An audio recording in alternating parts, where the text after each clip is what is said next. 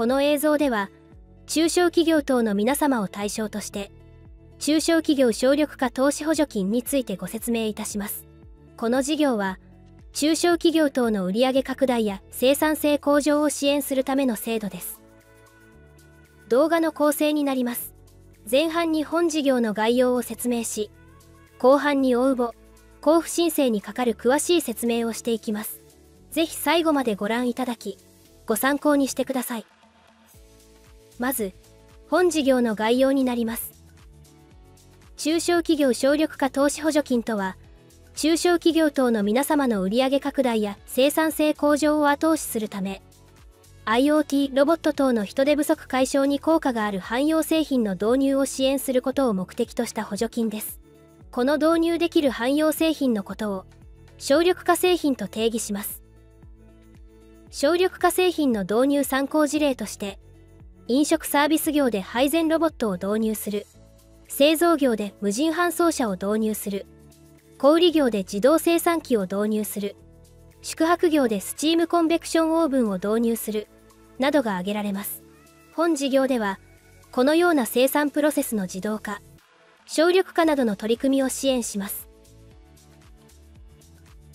導入できる省力化製品については他にも多数ございますのでホームページの製品カタログからご確認ください2024年6月3日時点の危機カテゴリー一覧はこちらになります。都度更新されますのでご確認ください。製品カタログや構成についてはこの後詳しくご説明いたします。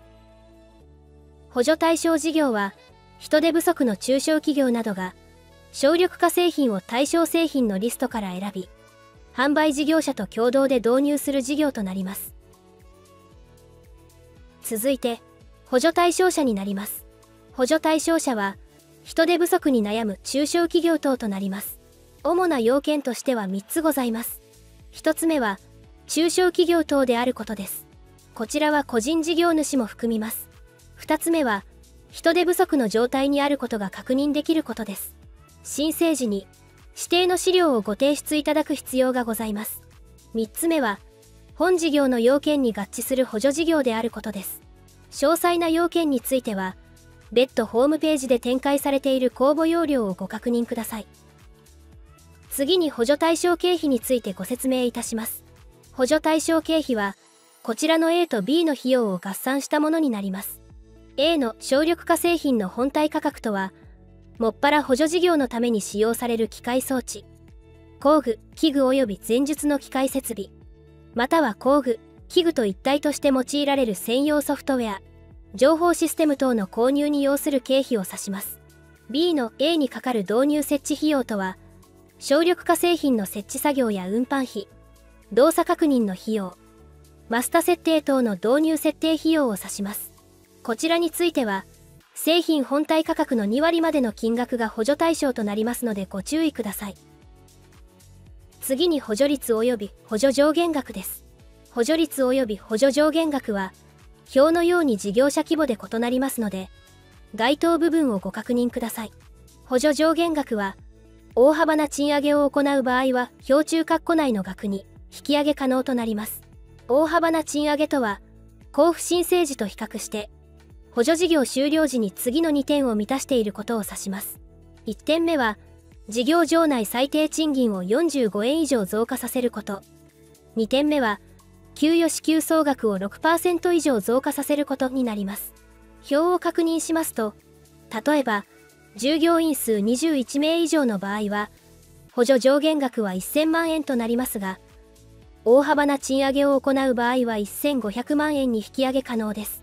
いずれの場合も、補助率は2分の1以下となります。中小企業等の申請フロー全体図は、こちらになります。ステップとしては大きく6つございます。導入目的の明確化、事前準備、情報収集、導入計画、導入決定、導入、運用です。このうち、導入計画から先は販売事業者がサポートしてくれますので、共同して行います。さらに詳しくご説明いたします。まずはじめに、この補助金の概要を理解をすること。そして GBizID というあらかじめ取得が必要な共通 ID があるのですが、そちらを取得していただくことから始まります。続いて、導入製品の選定、販売事業者の選定を行っていただき、販売事業者に連絡を取っていただきます。そうすると、販売事業者から中小企業等の皆様へ申請マイページという申請システムへの招待メールが届きます。申請にあたっては販売事業者とこの申請マイページ上で連携して共同申請を行う必要があります。その後、無事に補助金の採択、交付決定がなされましたら、購入した製品を導入して、補助事業の実施、生産と実績報告を行います。実績報告とは、きちんと製品代金の支払いを行ったか、問題なく導入できたか、製品を導入したことによって計画していた効果が発揮できたか、の報告を指します。実際に補助額が確定して補助金交付が行われるのは、この実績報告を行っていただいた後になるということをご理解ください。その後、効果報告は5年間行っていただく必要があります。これは、実際に製品が問題なく稼働しているかや、省力化の効果が問題なく出ているかについての報告になります。また、実際に製品が問題なく稼働しているかの確認として、実地検査の受験も必要となりますのでご対応ください。事業の流れは、以上をもって完了となります。続いて、公募受付期間です。令和8年9月末頃までの間に複数回の公募を行い、補助事業の申請を受け付けます。詳しいスケジュールについては本事業のホームページにて公開します。次に、共同申請です。この事業は、製品の販売事業者と共同で事業計画の策定が必要になり、中小企業等と販売事業者は共同事業体として公募期間内に共に申請受付システムで応募、交付申請を行います。次に、GBizID プライムの取得についてです。GBizID とは、行政サービスの共通認証システムなのですが、本事業に申請するには GBizID プライムのアカウント取得が必要となります。取得には一定期間を要しますので、お早めにお手続きください。本事業では、製品カタログに登録された省力化製品を導入し、販売事業者と共同で取り組む事業となります。製品カタログには、あらかじめ事務局に登録された省力化製品や製品に紐づく販売事業者が掲載されています。ホームページ上から製品カタログを見ることができます。製品カタログの構成は、こちらの図のようになります。製品カタログでは、本事業の補助の対象として登録された省力化製品がリストとして公開されています。カタログ内では、類似の効能を発揮する製品が、事務局が選定した分野ごとに分けられており、製品カテゴリと呼ばれています。例えば、清掃ロボット、配膳ロボット、無人搬送車などが挙げられます。製品カテゴリには、製品と販売事業者が紐づいており、それぞれ詳細情報を確認することができます。ホームページからご確認いただける実際の製品カタログ画面は、こちらになります。製品カタログのトップページから、製品一覧画面、製品詳細画面、販売事業者一覧が紐づいています。ここからは補助金の応募、交付申請についてご説明させていただきます。応募、交付申請は、大きく4つのステップでご説明いたします。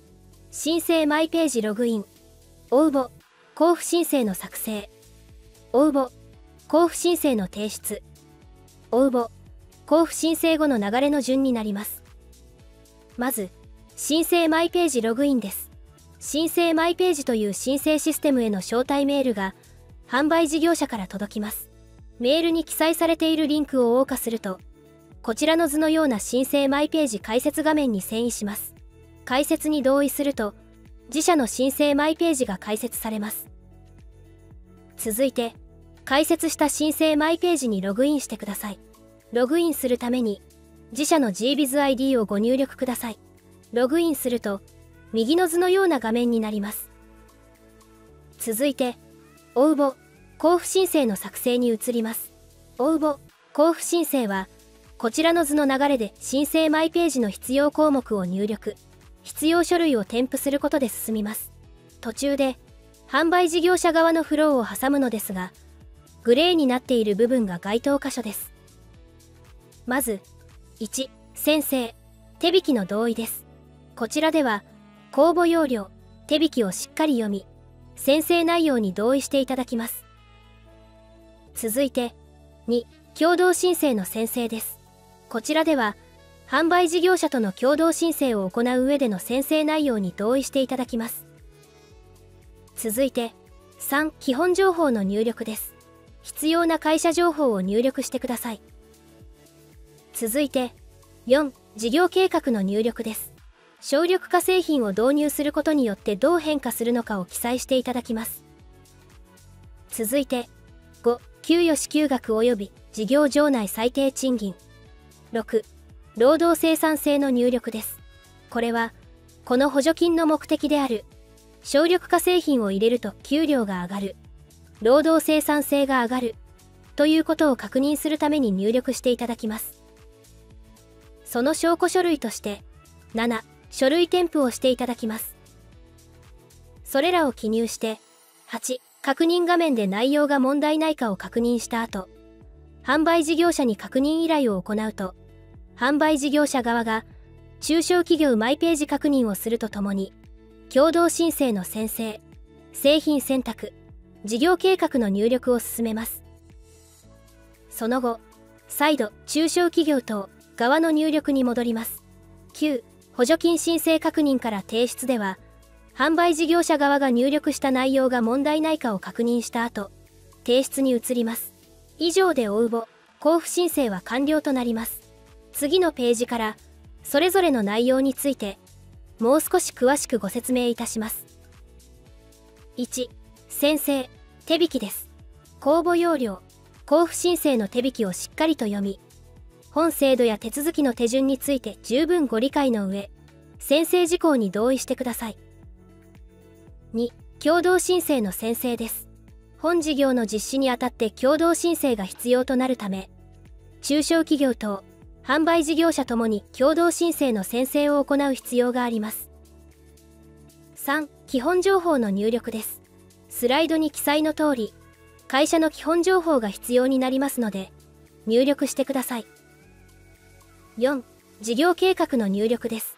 省力化製品の使用方法や省力化製品を導入することによって状況がどう変化するのか等を記載していただきます。具体的には導入製品の使用方法省力化により既存業務から抽出できると期待される時間人員の使途になります。導入により期待される省力化の効果については販売事業者側で入力します。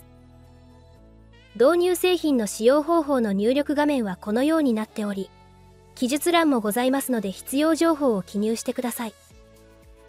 省力化により既存業務から抽出できると期待される時間、人員の使途の入力画面はこのようになっており、記述欄もございますので必要情報を記入してください。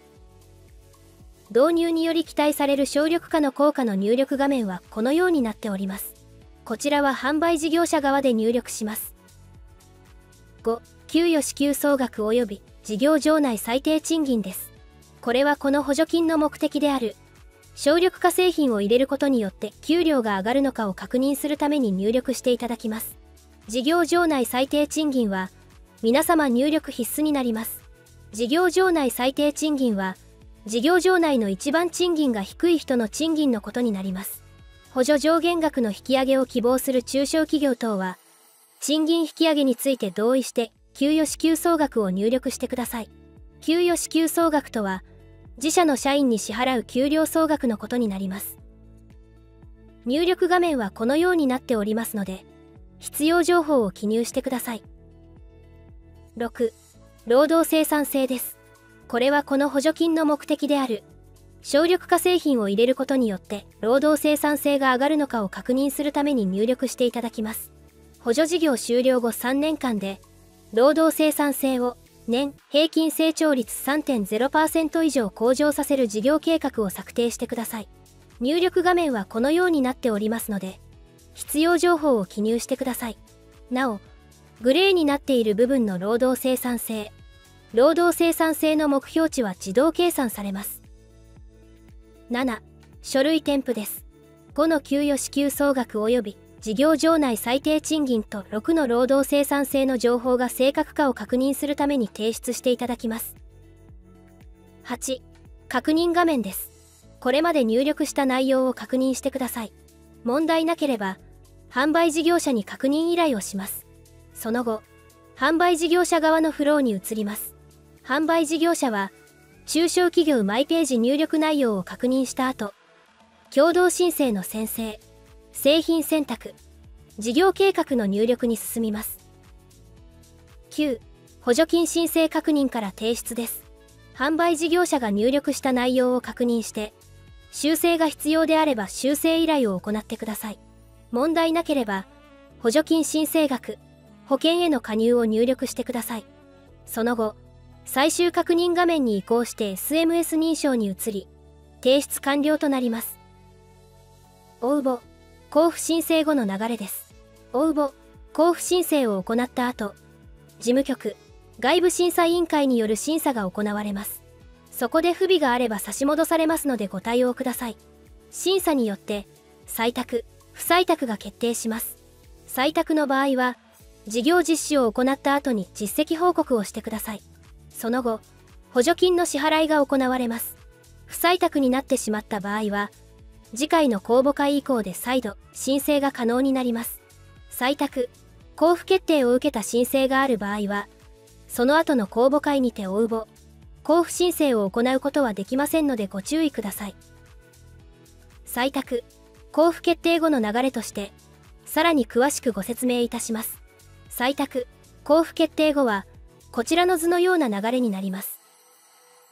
採択、交付決定を受けてから、製品導入、実績報告、効果報告、財産管理を行う必要があります。製品導入では、応募、交付申請時に提出した事業計画に基づき、製品を購入します。実績報告は、採択、交付決定を受けてから原則12ヶ月以内の補助事業期間で行ってください。実績報告とは、きちんと製品代金の支払いを行ったか、問題なく導入できたか、製品を導入したことによって計画していた効果が発揮できたかの報告を指します。実績報告を行った後に補助金の支払いが行われます。補助事業期間終了後5年間は、効果報告を行う必要があります。これは、製品の稼働状況や事業計画の達成度を確認するためのものです。この期間に、省力化製品が事業所に問題なく導入されているかの確認として、実地検査も行います。応募、交付申請時の事業計画と異なる実態であることが確認された場合は、採択、交付決定の取り消しとなる場合がありますので、ご注意ください。製品導入後は、財産管理が課されます。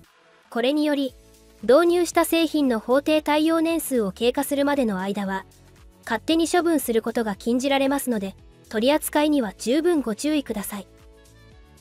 それぞれ、もう少し詳しくご説明させていただきます。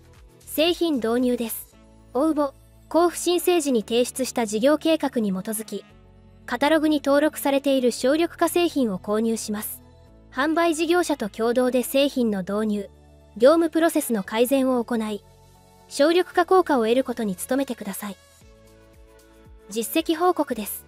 実績報告では、申請した製品を導入し支払いが完了していること、製品の導入により計画していた効果が発揮できたかを報告します。その際、事務局に対して、支払いや導入、設定した事業計画の達成状況に関して証明するための書類、例えば請求書や納品書などとともに提出する必要があります。なお、申請内容に含まれ、かつ採択後に発生した経費のみが補助対象となりますのでご注意ください。効果報告です。補助事業期間が終了後5年間は、効果報告を行う必要があります。これは、製品の稼働状況や事業計画の達成度を確認するために必要となります。財産管理です。